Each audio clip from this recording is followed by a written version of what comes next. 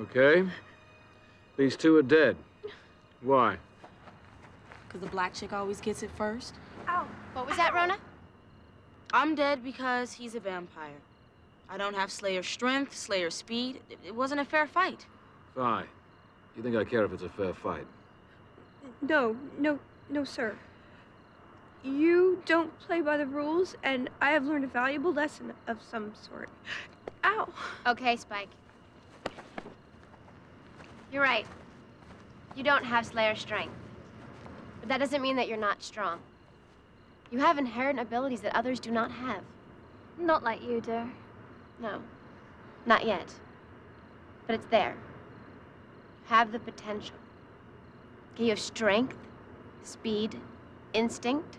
You just have to learn to trust yourself. Rona, what did your instincts tell you to do just then?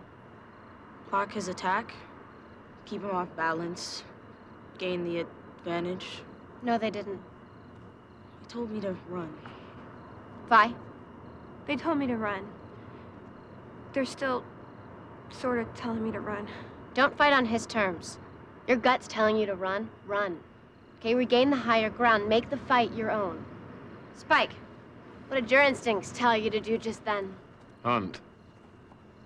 Kill. Come at me. Full speed. He needs to kill to live. That tells you everything you need to know.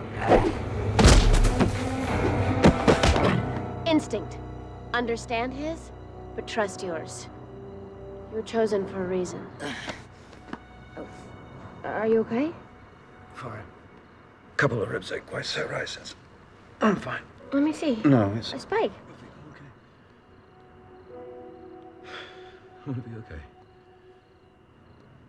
That's hot. So, we're supposed to, like, make out with him or something? Careful, Buffy.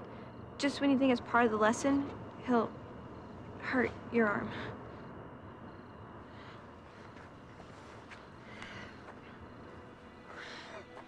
Molly, Kennedy, let's go.